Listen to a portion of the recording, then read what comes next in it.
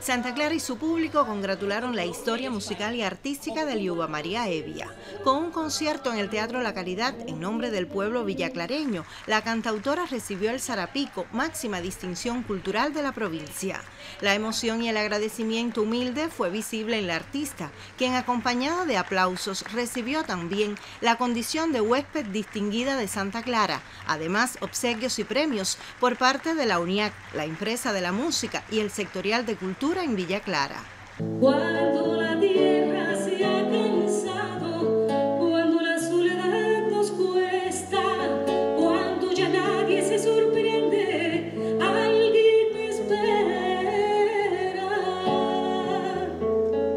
En este concierto se insertaron el coro provincial conducido por Yolanda Martínez, la coral infantil de Nelis Cañizares, todos acompañados por la Orquesta Sinfónica de Villa Clara, dirigida por el maestro Enrique Pérez Mesa. Bueno, esto es un proyecto realmente de los más bellos que yo he participado. Eh, primero porque he tenido la oportunidad de trabajar con una de las cantautoras de más prestigio en el país, con una obra sólida, no solo en el campo eh, para la música de la trova, sino en el campo de los niños, algo tan sensible, que es Luis María Evia. En especial la Orquesta Sinfónica de Villa Clara, que dirige la maestra Irina Toledo, es otra orquesta.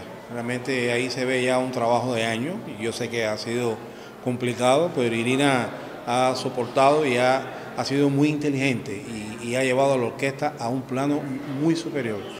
El concierto de Liuba María Evi en Santa Clara repasó todos los géneros cultivados por ella, la música campesina, la trova, la canción, el tango, la música infantil, entre otros, que conforman su universo sonoro y artístico. Además, evidenció el pacto indisoluble con la provincia, cuna de su raíz familiar y de su entrañable juglar y amiga, Teresita Fernández. Desde Villa Clara, Hilda Cárdenas Conyedo para el canal Caribe.